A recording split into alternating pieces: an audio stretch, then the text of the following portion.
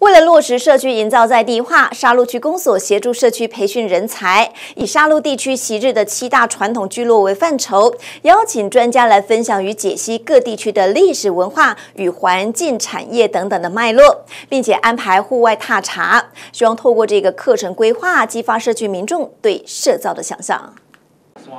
文史工作者在台前讲解在地的历史人文，也吸引许多社区民众到场聆听。为了落实社区营造在地化，沙鹿区公所今年特别成立社造中心，委托辅导团队来协助社区培训人才。而第一站就来到鹿寮社区，跟学员们来分享在地的涌泉文化。那今年一共有六个社区，加上一个个人，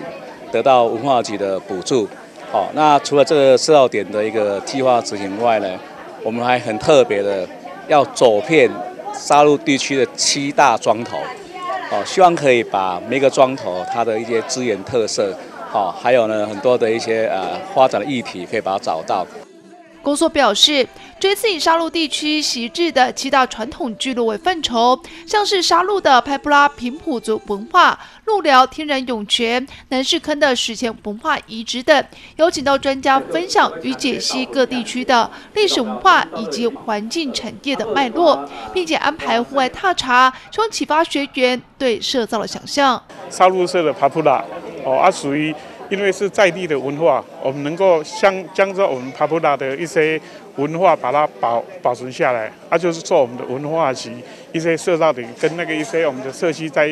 连连连接在一起，能够慢慢自己做，以后做我们的导览啊，或是深度之旅。有很多民众他不知道，但是这个涌泉却是就是当初民众他们的生活的饮用水。好，所以说对他们其实也是很重要的一个文化根源。那我们是希望说，透过透过这个活动哈，让那个社区这边的一些里民对社区的一些知一些文化哈，有更深入的了解。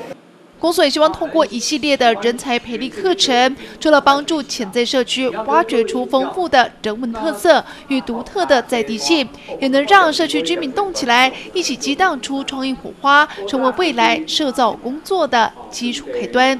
记者陈汉台中采访到。